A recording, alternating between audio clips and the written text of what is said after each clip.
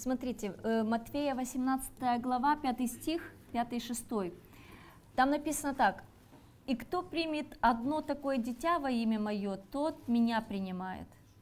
И дальше написано, «А кто соблазнит одного из малых сих, верующих в меня, тому лучше было бы, если бы повесили ему мельничный жорн, жернов на шею и потопили его в глубине морской». Вот это вот место малых сих, о котором мы говорили, что это относится к детям до 9 лет. И Ишуа использовал эту возможность, чтобы сказать об обиде, которую можно нанести детям.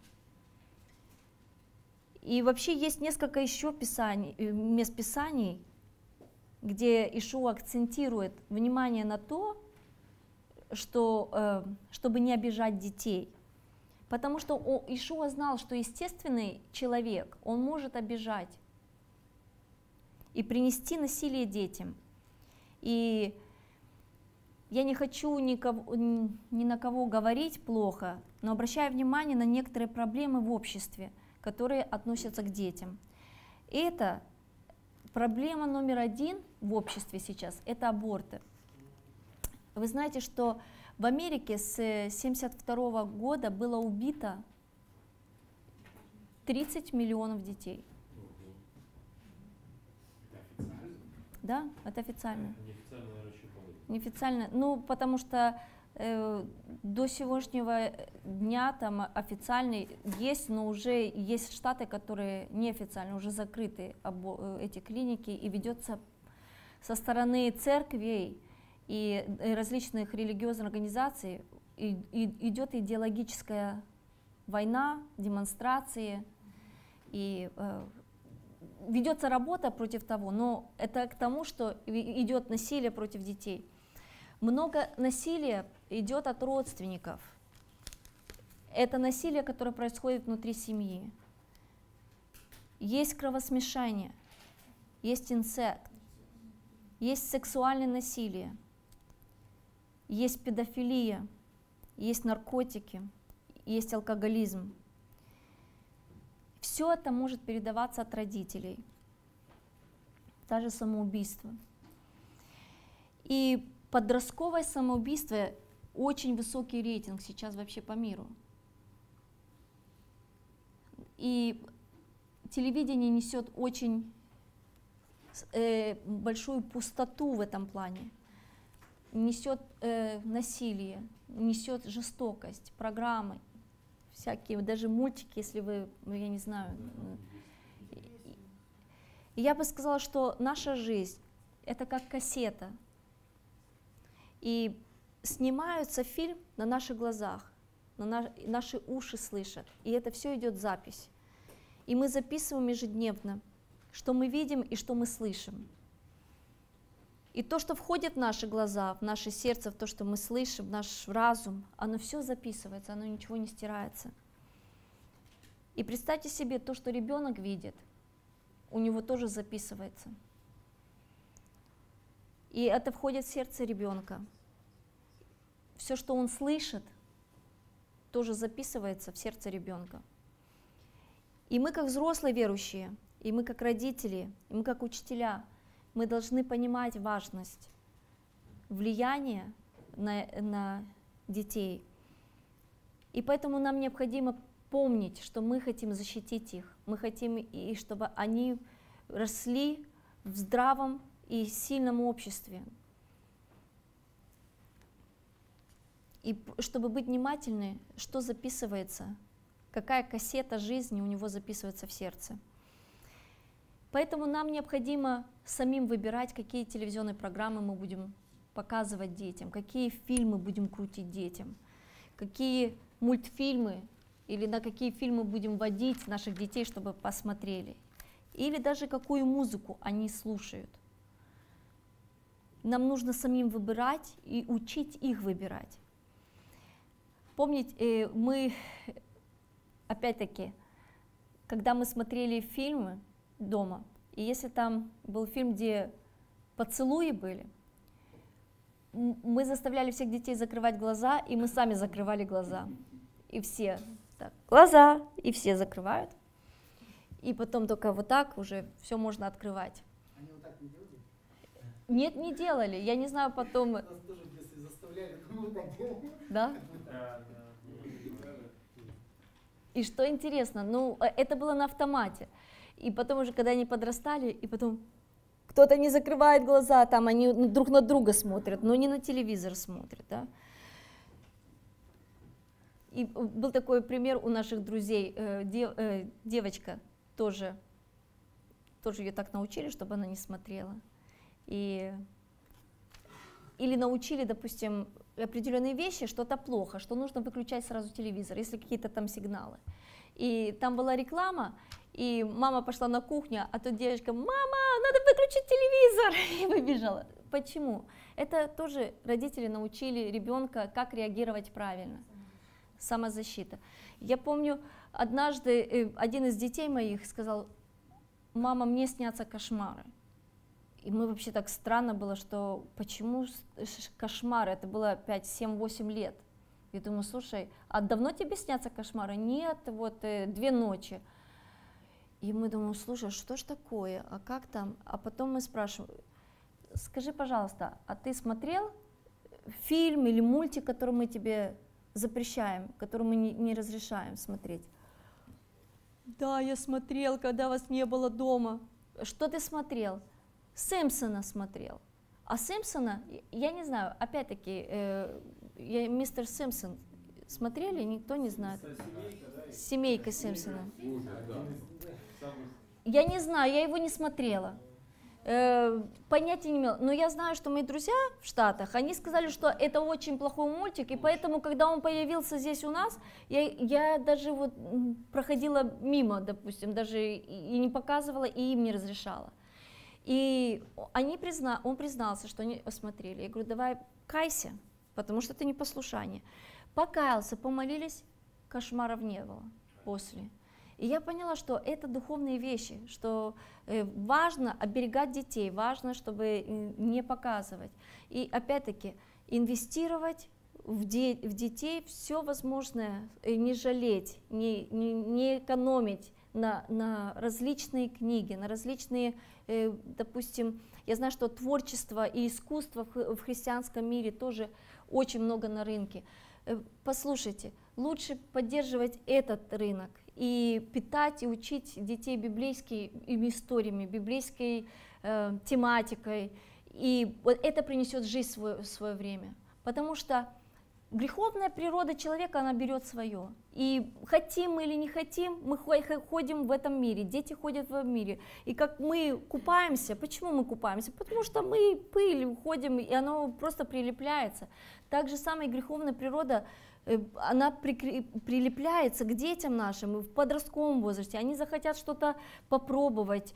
И важно, чтобы они знали основу, куда можно вернуться, какая башня, где их защита. Что даже если будут какие-то стрелы лукавого идти в их направлении, чтобы они могли сильны отражать эти стрелы лукавого и распознавать, что это плохо –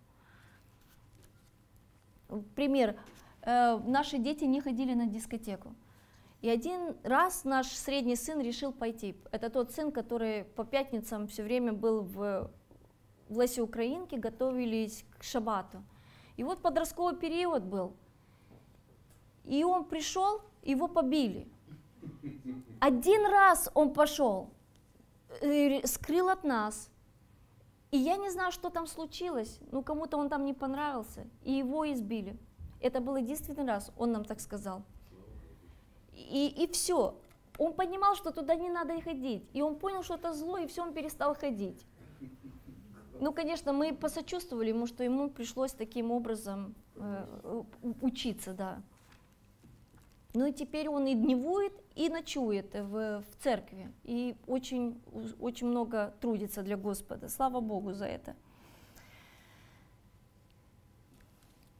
Поэтому выбираем книги для детей, мультфильмы. Сейчас очень много проповедуется рекламируется гуманизм.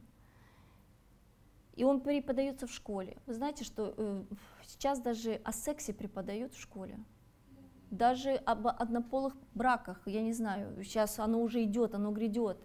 Это то, что мы даже представления не имели, а оно приходит. И представляете, вот в какое время, как тяжело нашим детям сегодня предстоит. И я обращаюсь к родителям и к тем, которые, у которых будут детей. Мы должны первыми сказать детям. Допустим, если мы видим, что на рынке уже об этом говорят, мы должны уже детей подготовить. Что когда наши дети, они услышат об этом, они уже скажут, а я знаю, потому что родители мне сказали. Но мы подготавливаем, мы говорим, что если вас будут учить об этом, об этом, вот это, вот это, вот это будет, знайте, что Библия говорит. Понимаете, да, чтобы наши дети были подготовлены, потому что я верю, что Бог дал нам Дух Святой, который будет направлять и наставлять нас на всякую истину, и мы не должны бояться, мы не должны стесняться э, того, тех мест Писания, то, что Библия говорит, и не стесняться о том, что да, будут приходить, и это смотреть как штормы жизни, они приходят, они хотят захлестнуть нас, но мы должны быть мудры, и опережать эти события.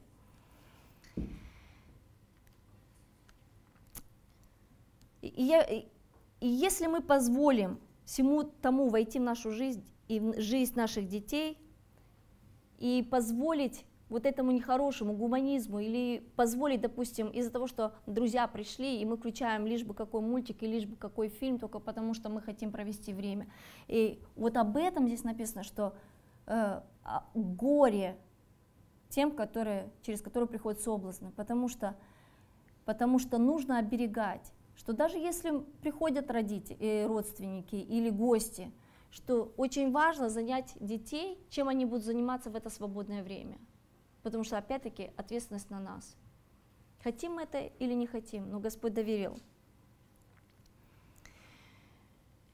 Матвея 18, 10. «Смотрите, не презирайте ни одного из малых сих». Видите, шестой стих говорит, кто соблазнит из малых сил. А здесь говорит, не презирайте ни одного из малых сил, сих, ибо говорю вам, что ангелы их на небесах видят лицо Отца моего Небесного. Не презирайте. Подумайте. Подумайте, Участвовали ли вы в тех обидах, которые перечисляли здесь? Презирали ли мы детей когда-нибудь? Презирали ли мы в общине детей? А как мы можем презирать детей? А? Презирать. Это когда мы отдаем детям остатки, когда мы берем самое лучшее – а им отдаем то, что осталось. Как это выражается? Это когда мы даем последнее место важности. Что-то важнее для нас, и потом, если останется время, я тебе уделю. Я, ну ты пока иди, иди, иди. А ты, а, для меня это важно. А потом, когда все уже разошлось, друзья ушли там, или даже в общине мы можем, так, я здесь поклоняюсь, я, вам, я кому-то, может быть, наступлю сейчас на больную мозоль, но я должна это сказать, потому что это относится к детей. Я вообще не об этом не говорю. Когда родители и дети приходят в собрание святых, поклоняться Господу, важно, чтобы родители научили поклоняться Господу. Важно не, не, не важно, что родители сидят сзади, поклоняются, а дети бегают и делают, что хотят. Есть группа порядка, есть э, вот там есть другие люди, они посмотрят. Поверьте, каждый человек, который приходит в общину, он хочет встретиться с Господом. Даже тот человек в группе порядка. Но у него есть задача, у него есть совершенно другая задача. Лидеры порядка, они отвечают за определенную, например, подать там воду или там э, дверь открыть или еще что-то, но они такие же, как и все остальные, они пришли поклониться. И время поклонения, э, многие не осознают, что это очень важный атрибут поклонения. Это твой дух соединяется с Духом Божьим. И когда есть маленькие дети, э, я ободряю всегда, у кого есть маленькие дети, идите на первые ряды. пусть ваши дети видят, что вы впереди, и пусть они поклоняются. Если даже они в переднем ряду, вы будете там, пусть они там поклоняются, но они должны быть рядом с вами. Они должны знать, что родители рядом.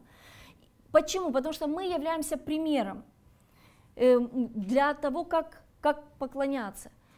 Потому что если э, мама, папа поклоняются, дети бегают, они, родители, они не исполняют Писание. Они не делают от наказ, они не наставляют, они не учат, они не показывают, они оставляют на произвол судьбы.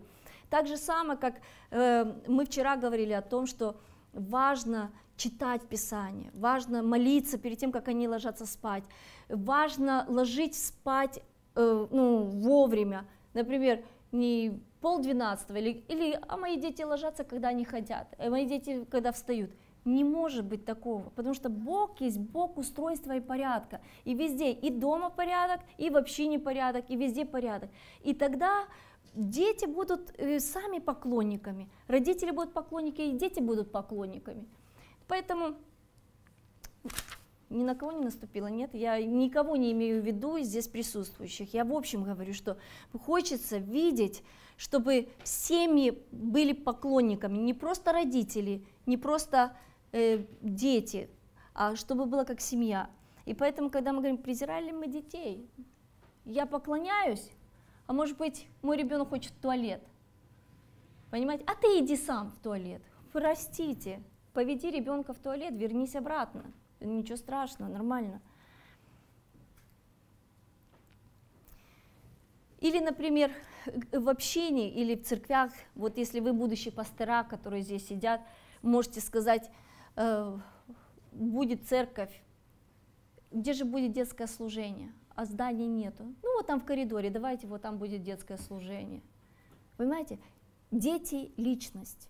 И если мы взрослые, помните вот эту статистику, да, два с половиной человека. Если мы половину человеку, да, ну, я образно говорю, без, э, не имею в виду в плохом смысле, мы устраиваем все нормально, то здесь, от которого зависит вся жизнь впереди, как он потом построит свою жизнь, маленький куточек в коридоре мы предоставим, и там мягкие стулья, там все красиво, а у детей ничего нет устройства. Вот об этом нужно, чтобы, когда дети приходят, чтобы они знали, что это, они ждали встречи с Богом, потому что здесь есть устройство, здесь порядок, здесь красиво, здесь э, хорошо, и, и они бегут на эти собрания, и потому что они, Дух Святой будет касаться их на этих собраниях. И как я говорила, что я не знаю, чему учили учителя Ромы, но когда в трехлетнем возрасте он начал цитировать Писание, что учителя плакали. Ну, это же Дух Святой делал. Это же не люди делали, это же не мы делали. Это Дух Святой, который э, делал работу в его жизни. Поэтому это нужно помнить, что, что дети, они имеют важное значение в нашей жизни – и будущим пастырам, что нам необходимо выделять достаточно финансы на детское служение, на игрушки, на все необходимые вещи, которые ну, нужно. И я понимаю, что есть большая нужда, когда община большая или маленькая, и есть разные нужды, что мы можем, например, есть бедные люди или старики, или на лекарства – и мы выделяем, потому что это жизнь и смерти, например, да, вот мы в больницу выделяем деньги, вот здесь на, для бедных, здесь была у нас кухня для бедных тоже, мы собирали деньги, это тоже важно, здесь был рип-центр, это тоже важно, а дети, а дети, у детей есть родители, да, и как, как, как община, как общество, мы не должны так рассуждать, что на самом деле, если мы собираемся как общество, я призываю, чтобы все общество, и когда детский вопрос стоит, что нужна организация какого-то вопроса, что, чтобы общество она осознавала важность инвестиций, которые мы делаем в будущее, потому что дети – это наше будущее. Мы говорили, что дети – это будущее нации, общества. И чем здоровее будут наши дети – тем лучше будет. а представьте, они идут и богобоязненные, они знают Бога, они чтущие Бога, они исполнены Духа Божьего, они мудры, они э, целеустремлены в Боге, и э, они смогут очень много достичь в Боге.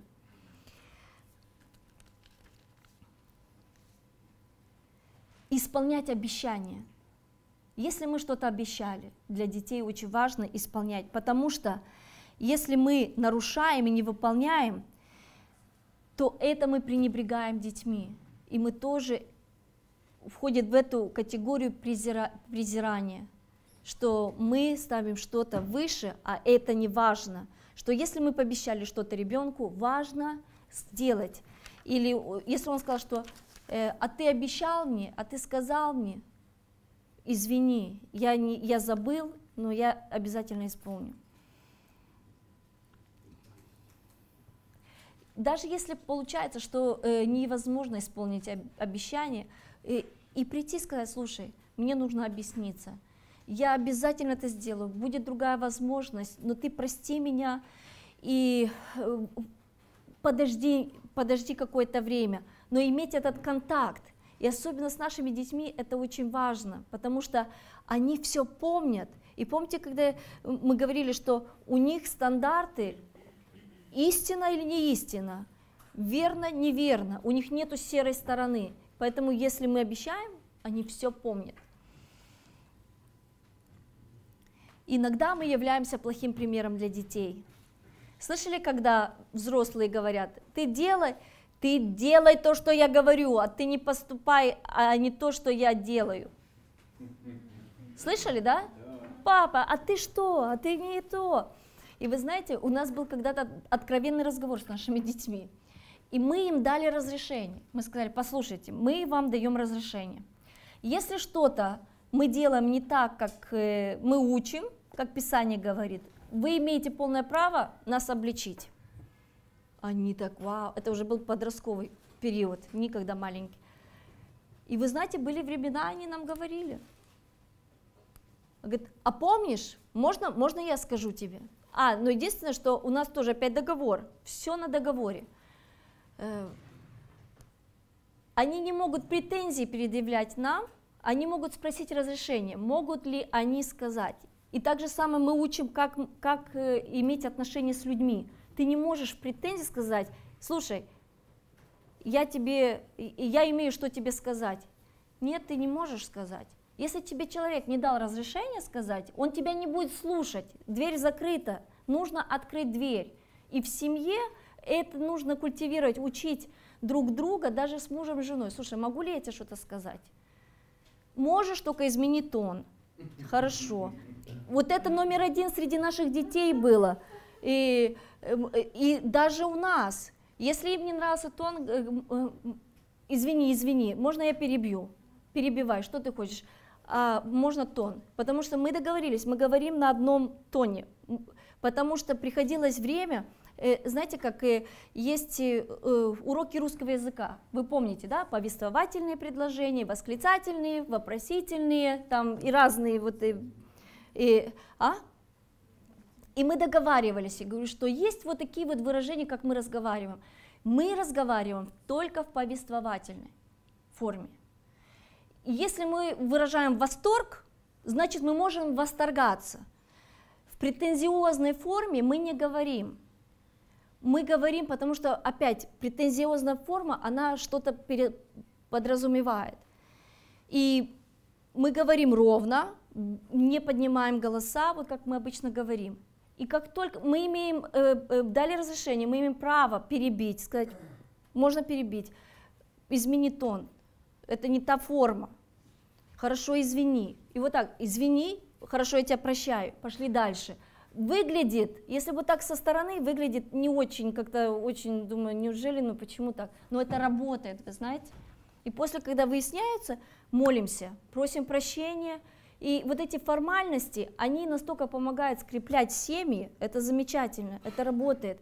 И, и молитва, скрепляющая молитва, это великолепно. Потом мы молимся, и потом, ну все, расходимся, и новый лист бумаги начался. Поэтому делайте то, что я делаю. Это самый лучший пример. Делайте. Вот учитесь, а, подражайте мне, как я Господу, апостол Павел сказал, замечательный стих. И Ишуа хочет, чтобы мы были примером.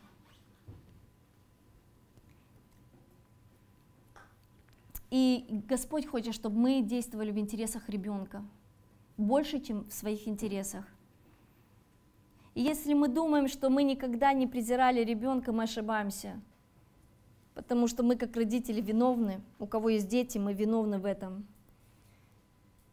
И иногда вопросы отношений или когда есть конфликты с детками, это именно из-за вот этих вещей, потому что дети чувствуют и имеют что-то против. Но из-за неоткрытых этих отношений э, они закрываются, их сердца, они закрыты, и, и нету доступа. Поэтому нужно молиться о том, чтобы Господь дал мудрости, как открыть эту дверь. И я верю, что с Господом не все потеряно. Господь дает надежду, потому что у Него есть надежда. И сколько мы живем, и сколько Господь делает работу в ребенке, и есть надежда, что Бог откроет эти двери и будут взаимоотношения между родителями и детьми. И в 14 стих написано, «Нет воли Отца вашего Небесного, чтобы погиб один из малых сил, сих». Это тоже говорится о детях. Нету воли. Божья воля совершенная, угодная, чтобы каждый ребенок, он жил. Он хочет, чтобы каждый ребенок имел жизнь вечную. И помните, ребенок отдает свою, всю свою жизнь, а взрослый только половина. И мы хотим, чтобы воспитать детей в путях Господа. И чтобы делали то, что Господь хочет. Если захотите, вы можете даже вот этот 18 стих или запомнить, или вызубрить. Ну, в общем, это это на самом деле эта глава отношения Иешуа к детям. Как Господь хочет, чтобы мы относились. И под вопросом, кто, кто, кто может учить детей? Мы можем учить детей, мы знающие Господа. Мы, последователи Ишуа, мы можем учить детей. Потому что ребенок может познать, что он грешник и пригласить его сердце. И второе Тимофея, третья глава.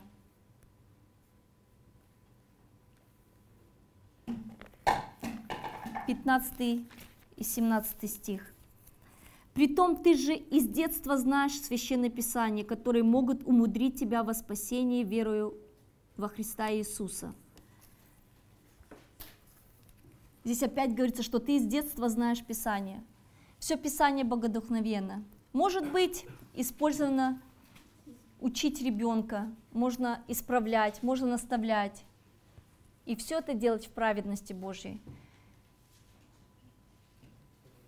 И слово для ребенка можно использовать то же самое слово, что и для взрослых. Конечно, мы, мы знаем, что ребенок не будет слушать Слово Божье в течение часа. Но если постоянно и понемногу, оно принесет свои плоды.